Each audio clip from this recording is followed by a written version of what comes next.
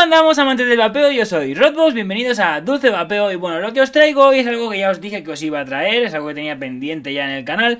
Y pues no deja de ser otra cosa que uno de los mods que más me ha gustado de este año pasado, realmente es de finales de este año pasado. Y estamos hablando de el Druga Foxy. Y en esta caja vendría presentado nuestro Druga Foxy.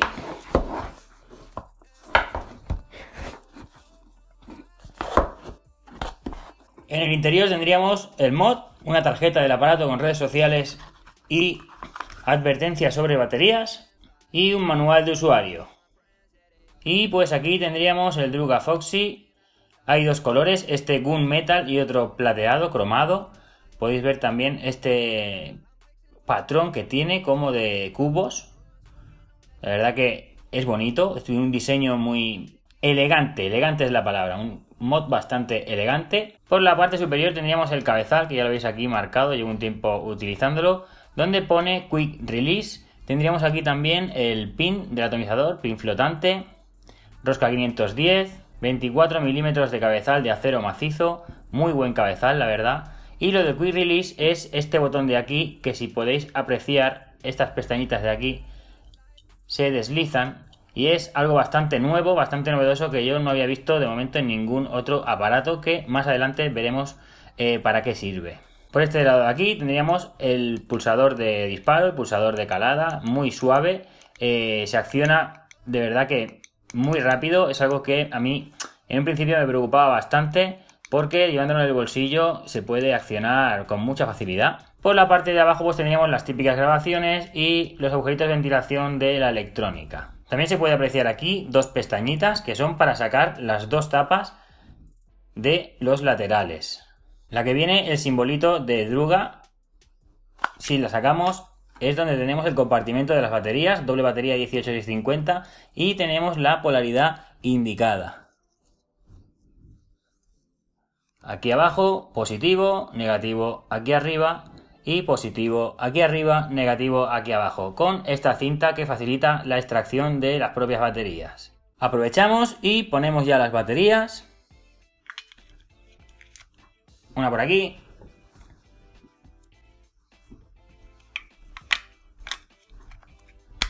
Y la otra por aquí. Ponemos la tapita, no lo he dicho, tenemos aquí imán y imán que encajarían con los imanes de aquí de la tapa. Esta tapa en concreto no maraquea nada. Pasaríamos ya a la tapa frontal, donde habéis visto ahí que se iluminaban los, eh, los dígitos. Pantalla muy chiquitita. Y bueno, pues lo típico de siempre para encender y para apagar, ahora tendríamos encendido, daríamos 5 clics en el botón de disparo, en el botón de calada, 1, 2, 3, 4, 5, y pues apagaríamos. Para encenderlo exactamente igual, 1, 2, 3, 4, 5, y se encendería.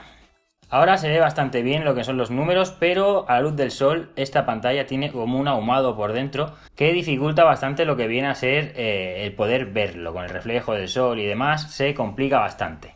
Quitando la tapa pues tendríamos única y exclusivamente estos dos botones de aquí que sirven para subir y bajar voltios y vatios, porque son los únicos dos modos que tiene el, el dispositivo. Aquí tendríamos diversas fórmulas de la ley de Ohm, la pantallita. Aquí podéis ver vatios, voltios. Aquí arriba se vería la resistencia, o sea, los ohmios. Aquí abajo el nivel de batería que comparte, comparte eh, icono. No se ven por separado, la carga de las baterías por separado. Y bueno, ahora mismo tendríamos en vatios que sube pues hasta los 150 vatios. Y si quisiéramos cambiar al modo voltaje variable, pues simplemente apretando los dos a la vez cambiaríamos directamente ya para poder vapear en voltios, algo que a mí me ha gustado mucho porque yo suelo vapear en voltios. También aquí podéis ver la pantallita, ¿de acuerdo? Si veis aquí que brilla algo es como el ahumado que tiene. Y tenemos aquí un imán, otro imán y otro imán que encajarían los dos de arriba con los botones, el pulsador y el pequeñito de abajo encajaría aquí. Y como podéis ver, no tenemos por ningún sitio del dispositivo puerto de carga USB, micro USB, como también habéis visto que en la caja tampoco venía ninguno. Con lo cual, para este dispositivo en concreto, lo que nos haría falta, sí o sí, sería un cargador de batería externo, porque si no, no tendríamos posibilidad de cargarla. Bueno, ahora vamos a ver para qué servía este botón de aquí, el Quick Release, que movía la piececita de aquí de dentro de la rosca. Y es porque, por ejemplo, en todos los eh, cabezales y roscas se enroscan los atomizadores y una vez está enroscado tendremos listo. Pero, por ejemplo, ahora voy a sacarlo. Si aprieto aquí, fijaros que doy media vuelta y sale. ¿De acuerdo? Simplemente es una forma de poder sacar y meter el atomizador eh, con un clic este, ¿vale? Haciendo el clic este, apretaríamos, meteríamos el atomizador, enroscaríamos y aún así tengo que darle dos par de vueltas, no llega a vuelta y media. Pero para sacarlo sí que es verdad que yo aprieto y sale solo, ¿vale? Simplemente es eso. Poco más que añadir este Druga Foxy, lo único que es de estas, este plástico, este policarbonato o algo así, eh, es de esos que se queda la, huella marcada a, a tutiplén, Así que nada, vamos a alejar la cámara y lo probamos. Ya os cuento lo que opino de este Druga Foxy.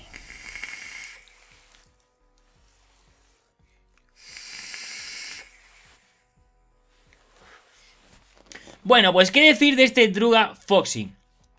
Es un cacharrito, la verdad, que a mí me ha gustado mucho. Eh, muy sencillo, de verdad, tiene una electrónica súper, súper, súper sencilla. Una de las cosas que tiene buenas también es que exprime bastante bien las baterías. O sea, de verdad, me ha dejado bastante sorprendido con eso. Un cacharrito súper elegante, de verdad. No, es, no llama para nada la atención. O de esto de lucecitas, historias que hay por ahí, ¿de acuerdo? Que para mí son tonterías que gastan batería a muerte. Y en general un cacharro que me gusta bastante. Vamos a ir con los puntos positivos, puntos negativos y esas cositas, ¿de acuerdo? Como punto positivo y principal punto positivo, para mí es un cacharrito que se voy a recomendar siempre a alguien que quiera pasarse de un típico kit de inicio, ya sea un PEN 22, un tipo stick y estas cosas, ¿vale? Alguien quiera pasarse ya a bataje variable o un voltaje variable, pues yo se lo puedo recomendar perfectamente porque es que no tiene pérdida ninguna, no tiene ninguna dificultad. O sea, solo tienes o bataje variable o voltaje variable. Chimpum. Otra cosa que me ha gustado es el cabezal que tiene de 24 milímetros, que la verdad que es que es muy robusto, muy buen cabezal, la verdad, me ha gustado mucho. Pero ese cabezal tiene un contra que ahora os comentaré. La entrega de potencia la verdad que no es la mejor que hay, pero tampoco es mala. Yo aprieto y escucháis, no sé si se escuchará. ¿Qué pasa ahora? Que me queda sin batería. Muy bien, niño, muy bien. Estas cosas pasan cuando uno se pone a grabar un puñetero vídeo y no se entera de que está sin batería. Muy bien, pichica, muy bien. Bueno, lo que decía de la respuesta, pues voy a apretar el botoncito para que veáis más o menos la respuesta que tiene. Aprieto. Es bastante instantáneo, ¿de acuerdo? Es una electrónica, sinceramente, que es muy sencilla, pero a la vez buena electrónica. Y muy buena calidad en materiales. Yo el mod, ya os digo, yo lo pongo en cualquier sitio y no tiene ni una rayada. Se mantiene muy bien. Así que por ese aspecto también un buen trabajo de Outbabe. Ahora vamos a los puntos que podríamos decirle negativos o que a mí particularmente pues no me han hecho mucha gracia. Y entre ellos entra el botoncito este del, del Quick Release, el, lo de apretar para poder sacar el ato y meterlo sin tener que enroscar. Me parece una completa absurdez, ¿de acuerdo? Más que nada porque el día que se te fastidie el botoncito este, por lo que sea, se rompa, te has quedado sin cacharro, porque como la pieza esa que engancha el ato se quede, se rompa el muelle que tiene dentro, lo que sea, y se quede abierto, a ver cómo enroscas tú ahí un ato, es que no puede ser, ¿vale? Entonces, ¿es una innovación? Sí. Eh, ¿Es muy. O sea, ¿es muy necesaria? No, porque a no ser que alguien esté eh, cada 10 segundos, pega una calada, cambio de ato, pega otra calada, cambio de ato, cosas así, pues realmente, ¿qué cuesta desenroscar un ato y enroscar un ato? Tampoco es un gran esfuerzo, ¿de acuerdo? O sea que para mí, bien por el intento de innovación, pero para mí no es algo que sea necesario. Otra cosa que tiene es que eh, el pulsador que tiene está bastante bien, me gusta bastante, pero es muy blando. Es de esos mods que tienes que apagarlo sí o sí a la hora de guardarlo en el bolsillo porque se pulsa con bastante facilidad. Eh, es muy suave, o sea, la pulsación es muy cortita y muy blandita.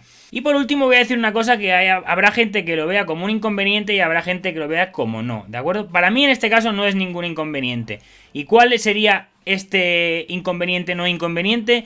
Pues que no tiene para cargar las baterías, no tiene puerto micro USB, ¿de acuerdo? O sea, sé que no puedes ni cargar las baterías ni actualizar la electrónica. La electrónica, pues bueno, tira que te vas, que pueden sacar una actualización, que mejore cualquier cosa, pero eh, lo de cargar las baterías, bueno, yo soy de los que piensa que las baterías siempre se deberían de cargar en un cargador externo, que para eso están creados esos cargadores, para cargar baterías. Y los mods, por norma general, no cargan bien las baterías, no las balancean bien del todo, entonces eh, tienen para cargar normalmente pilas pero su, o baterías, pero su función no es esa, ¿vale? Sé que habrá gente que dirá, hostia, pues vaya rollo.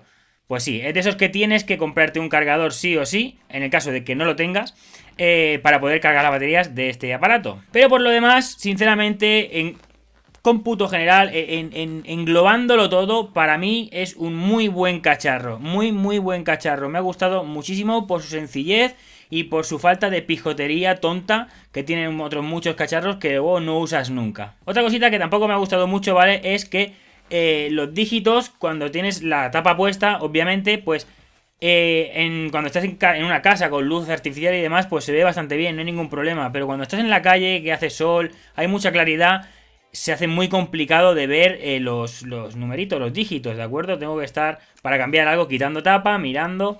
Porque si tú quitas la tapa se ve perfecto, tiene muchísima luminosidad. Pero cuando le pones la tapa pues pierde prácticamente un 70% de luminosidad. Entonces, bueno, yo pienso que igual no tendrían que haber puesto ese, ese pequeño... Mm, satinado que han puesto ahí, ese pequeño como, como, bueno, lo que hace que, se vea más oscura la pantalla, ¿vale? O sea, pienso que eso no deberían de haberlo puesto, pues se hubiera visto muchísimo más claro los dígitos, pero ya está. Bueno, otra cosita también, antes de, terminar el vídeo, y es que es de esos mods que el plexiglas este o el plástico este que tienen aquí es de esos que se dejan las huellas, pero vamos, mogollón, mogollón, y yo soy de los que está todo el día pipí, pipí, pipí, dándole con la chaquetilla, dándole con la camiseta, cualquier cosa, para quitar las huellas. Que es tontería, porque al momento se quedan otra vez los desmarcados, pero mm, yo lo limpio. Y por mi parte, nada más, por mi parte nada más, ya os digo, un cacharrito que yo personalmente recomiendo bastante. Si es bien cierto que un suscriptor, el día que hice yo mi top, que tenéis por ahí el vídeo, ¿vale? El top de mis cacharros favoritos hasta 2018. Nombré este cacharrito y un suscriptor me dijo que eh, había leído por ahí, que le habían dicho pues que daba algunos problemas con reconocimiento de atomizadores, que algunos atomizadores no reconocía no los leía. Algún problema también con lectura de ohmios, que no los, no, no los leía bien. Y en mi caso, o sea, yo hablo de este cacharro en concreto, que es el que tengo, no me ha dado ningún tipo de problema. Así que es verdad, pues que hacen tantísimas eh, cantidad de, hacen tantísima cantidad de cacharros que, pues, por norma general, alguno, alguno sale mal. Lo malo fuera que eh, la gran mayoría salieran mal y que a mí me hubiera tocado el bueno, no lo sé, ¿vale? Pero la gente que lo tiene, y yo he hablado con esa gente que lo tiene, no me, no me lo han criticado, es más todo lo contrario, les gusta mucho, como a mí. Eh, quizás sea coincidencia que a ellos tampoco les haya tocado ninguno en mal estado o defectuoso. Pero yo lo digo por si acaso. Y nada más, también dar las gracias a AugBake por haberme mandado eh, el cacharrillo. Muchas gracias. Tendréis aquí abajo la página oficial de AugBake y de este Druga Foxy. Y recordar también que el próximo vídeo, que será el próximo seguro, no voy a dejar pasar más tiempo, va a ser el del sorteo de los 5.000 suscriptores. Estar atentos porque la verdad que se sortean cositas bastante, bastante tochicas. 5 premios, un premio por cada 1.000 suscriptores, me ha parecido bien hacerlo así. Así que atenticos para cuando suba el siguiente vídeo. Yo vosotros si no tenéis activada la campanita, activarla que os saltará la notificación si es que YouTube hace su trabajo porque nunca hace bien su trabajo. Y sin nada más que añadir, hasta aquí el vídeo de hoy. Si os ha gustado el vídeo, pues un buen like se agradece muchísimo. Si no os ha gustado, pues como digo siempre, me dejáis un dislike que para algo está y a mí... ¡Me la sopla! Suscribiros al canal si no lo estáis. Vamos a darle una última calada de despedida a este Druga Foxy con el Kensei y el liquidico este de, de de esta gente Differ Babe, el de melón, piña y fresa. Liquidazo, la verdad, me ha gustado mucho. Toquecito fresquito.